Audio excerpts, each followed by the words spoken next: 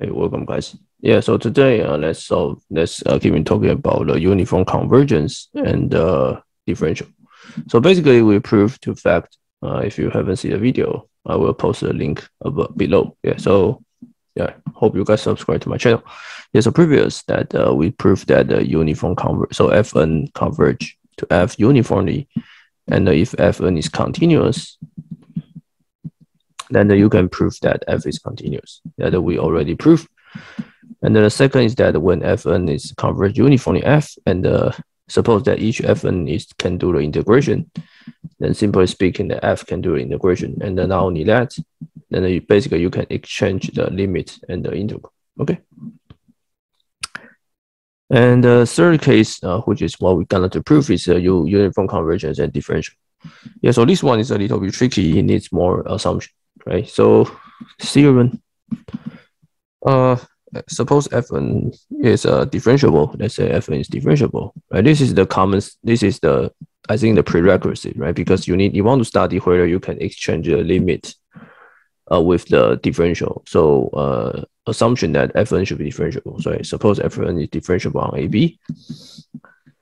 And uh, so first condition, the second condition is that uh, let's say you already get some points let's say some points x x zero such that f and x zero converge. Okay, converge. Uh, yeah, converge. So as uh, n goes to infinity. Uh, for some points, which x zero is just some points in a b. Okay, and the third condition is that uh, let's say fn prime, right? So each is differentiable. So you can ask uh, fn prime. Suppose fn prime converge uniformly on a b right, to be something uh, which I don't care, I care you are G, then the following uh, the following two are correct. The first one is that uh, uh, Fn converge uniformly. So I mean, so this theorem says that if the differential converge uniformly, then the function converge uniformly. Okay, the second is that uh, you can exchange the limit Okay, so this is the analog of the so right. So basically, uniform convergence solve everything of what we worried about. Okay. Uh, yeah, let's go to a proof. Okay, so let's write down everything, right? So we know that for epsilon greater than zero, uh, you can find n, right? Such that when n mean greater or equal to n, uh, you have uh, let's say fn x zeros minus fm x zeros x zero less than epsilon, let's say divided by two. Uh, reason is that uh, since uh, I use this, okay. Okay, and then what we have is that also have fn prime minus fn prime. Let's say epsilon two b minus a, right? I can find a uh, such that uh, I can find another n which is uh, such that this satisfied because fn prime converge uniform. So basically, I, I can choose whatever epsilon I choose, whatever epsilon. Right? So now I choose epsilon. My I choose my error to be epsilon divided by two b minus a. Okay. So this is for uh for every point. Let's say this is t and t, and for basically for every point t belongs to ab. So this is just I use this. And also everything is differentiable, right? So I already use uh, every two, every three conditions. Uh, Okay, so let's uh let's see this. So I can write, let's say, let's go on to let's let me just compute this. Uh, okay, so what is this? So this is uh xxtt and n and m, right? So that's using the mean value theorem, right? So this the, the, this uh uh let's see. So this will be something uh, you can find the points, right? So let's say uh, f1 prime, let's say c, and then x minus t, and the plus something uh, another, right? So f maybe some c prime, uh, which x minus t, and you take the absolute value, right? But who cares? Because now each might difference. Oh, by the way, this is minus because there are minus, right? So each difference is bounded by this, right? So you can actually bounded by this x minus t epsilon two b minus a. Okay, so definitely this is less than epsilon divided by 2, right? Because t and x are both in AB. Okay, so uh, yeah, this is the condition that we need to remember. Okay, and then let's compute this. So let's pick x. So pick x. And I want to compute this. Okay, why I want to compute this? Because I want to first prove that these are uniformly convergent, right? So I need to bound this guy. Okay, this guy is bounded by fn of x minus fm of x minus fn x zeros plus fm x zeros. I think now uh, you guys see a trick. Uh, see, see a trick. Okay, so now this guy is bounded by epsilon divided by 2. This guy is bounded by epsilon divided by 2. So Fn converge uniform. Okay, so we prove uh we prove this. Okay, and the next uh next we prove that uh let's say we prove let's say we want to prove uh the the differential can commute with the limit. And hopefully this is easy. Okay. Oh, by the way, six Fn converge uniformly, and I know Fn is a con continuous, right? Because it's differentiable. So I can I let limit to be f to be the limit of this. Okay. And then I know that f is continuous. Okay, now I want to show that f is a differentiable. Okay. Okay, so now now let's prove is a uh, the differential is the the differential can commute with the limits. So define a phi n of t to be uh fn of t minus fn of x, t minus x, and the phi of uh, t uh, to be uh, fn f of t minus f of x, t minus x, right? So remember that f is well defined, right? Okay, now uh, now obviously that the limit uh, t goes to x, phi n of t will be fn prime of t, right? This is definition. Okay. And uh, the previous, uh, the previous, uh, remember that the previous equation, right? The previous equation that I just, I just proved is bounded by uh, epsilon divided by two, right? So this, this equation, right, right, as just can change into phi nt minus phi mt, right, less or equal to epsilon two b minus a, right? You just because oh, by the way, this is just that's equal to x minus t epsilon 2b minus a, right? So you can just you can just divide this x minus t, okay, to the uh, left hand side. Then you got this. Okay, so what what what this means? What this means that the uh, phi n is uniform convergence. Okay, so by the previous results that uh, you can exchange your n goes to infinity phi n of t will be phi of t. Uh, by the way, this is your definition, right? But the but the you can exchange the limit, right? So basically, now this the limit when t approach x will become f prime, right? So which you prove that uh, you can exchange this, right? So you can exchange this right? So basically, you have shown that uh, this is limit n goes to infinity, fn prime of t as a x is the same as this, right? So this is just a this is phi of t, right? So these become f prime of x. Okay, yeah, very simple proof. Yeah, just write down every definition. Okay, that's it. Okay, so let's prove another theorem which is interesting. Uh, although I, I didn't, I think it doesn't uh, so related. You, you need to use a uniform convergence to prove. Okay, so there exists a real function, uh, continuous. There's a it is a continuous real function. Let's say so R to I think R, uh, continuous, but uh, nowhere differentiable.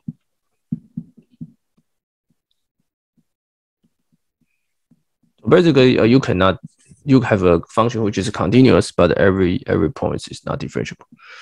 Okay, so when I was undergrad, uh, my professor uh, have some illustrated example, which is uh, not, not rigorous, but you can imagine. So this is the zero step, first step, and you can go to the second step right, by uh by uh using this. So e so in the next step, that each uh each uh, each function, uh, each will will will get something, get something uh very strange, fra- uh fractional. So this becomes somehow like I I remember that's called uh curve or something. And uh, you can prove that when n goes to infinity, this function is continuous. Okay, but uh, it's not differential. Okay, but uh, let's give the uh, formal construction. Okay, so uh, define phi of x to be x of the value and uh, from 1 to minus 1 to 1 and the periodic. So periodic, so I can extend it. I can extend it phi to all the real numbers by just periodic 2. Okay. So I just I just want to say so basically just this. Okay, so obviously that your phi of s minus phi of t is less or equal to x minus t, right? Because this is absolute value, right? So basically uh, from here you can get the phi is uh, uh, by the way, so x minus t, right? This is bounded, right? So so you see this this tell you phi is continuous obviously that since s goes to t and uh, it will goes to zero. Okay, so you can define your f to be summation n to zero to infinity three over four n five four n x f of x. Okay, so this function f is uh, uh you you so you can check that it's continuous. Okay, uh, mm, yeah, and uh. So by definition, right, your phi of x is bounded by one, right? So you can check that uh, your f of x is bounded by uh, summation n from zero to infinity, three to divided by four n. So it means f of so and this is bounded, right? So f of x is well defined for each x, right? So this guy is well defined for each x, and it's bounded by some universal number, right? So which show that f is what? f is uniform convert uniform. Uh, sorry. Uh, if so, if you define uh, if you define uh, if you define your f, this is your uh, let's say f of m, right? Then your f, f of summation of of f of m as a series, right, is uniform convergence. Uh, sorry, uh, yeah, uh, uniform convergence. So by the previous theorem that uh, since this is uniform convergence, you know that f is continuous. Right, so this is the proof that why I say f is continuous. So you first prove this is well defined, and you say each guy, right? And this is bounded bounded uh, by a universal number. So this this and for each guy, this is continuous, and the total you prove that this is uniform convergence. So f is continuous. F is continuous. Okay, so we I think f so f satisfies this uh, this condition. So the remaining proof is to prove that uh, this is uh, nowhere differential. Okay. So pick, let's say we pick delta m to be uh, plus or minus half, please. And uh, let's consider gamma m, gamma n to be 5 for n, x plus delta m minus 5 for n x divided by uh, delta m. Okay, so notice that uh, so obviously that 4n times delta m will be a half, right? Okay, so let's say so when uh let's say when n greater than m, uh, when n greater than m, uh let's see. So when uh, let's see, sorry, this is m. I'm stupid. Right, so for n greater than m, right, you can easily show that 4n times delta m is even. So that uh, since it's even, right? So by definition, my phi n has periodic too, right? So this tell you that uh, gamma n is zero. Okay, and uh, when uh, n less or equal to m and greater or equal to zero, okay, then the I think right. So in in in this case, that you can use a previous bound. Right, so previous bound tell you that uh, uh have this so that means uh, this uh, this gamma n is less or equal to 4n. Okay. So let's let's do some uh, estimation. So I I want to do I want to prove that these guys uh let's check whether it's differentiable, right? So I need to I can check I want to check this and then try to see something, right? So now I take absolute value and then this is summation uh n from 0 to m, right? 3 divided by 4 to n, then by each term will give you a gamma n, right? So uh let's see, this is sorry, this is n, this is m. Okay. Now this guy is greater or equal to what? Because when uh uh right, so when n equals to right, so when n equals to m, by n equals to m, uh let's see, so this when n equals to m, mm,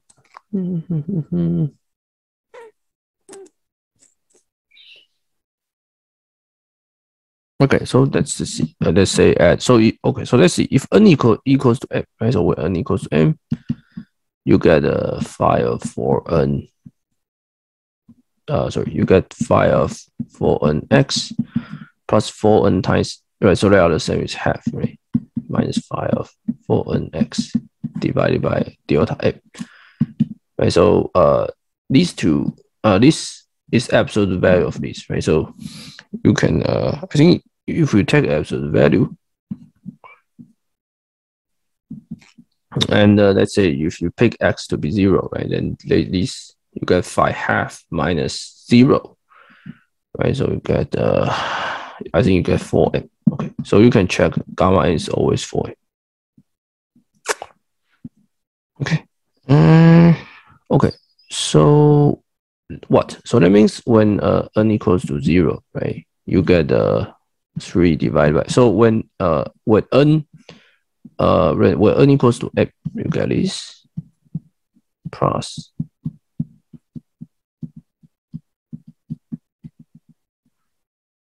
right plus the final term. I guess final term is just zero. And this time is greater or equal to uh the first guy minus the rest, right? So it's just this. minus the rest, right? And uh, for the rest, that uh, for the rest, we just prove that gamma 4 is less or equal to 4, right? So you can check this.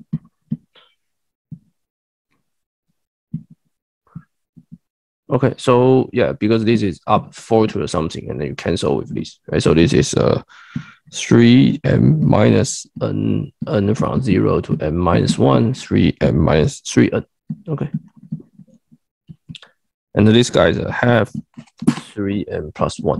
Okay. So basically, we just show that uh, we, we just show this guy, right? Greater or equal to this, right? For any m. Okay, but the but what what this shows is that uh, so when you're m very close, when you're when you that deal when you goes to zero, let's say you have some you want to do a differential, right? You, delta goes to zero, and your delta will hit some delta m, right? Because this m can be arbitrarily small, right? So, so larger m will make delta m arbitrarily small, right? So which you prove that when uh, when your delta tries to go zero, your delta will always hit something delta m. But this differential number is great, always greater or equal to some number, and this number is not bounded, right? So which proves that f is not differentiable.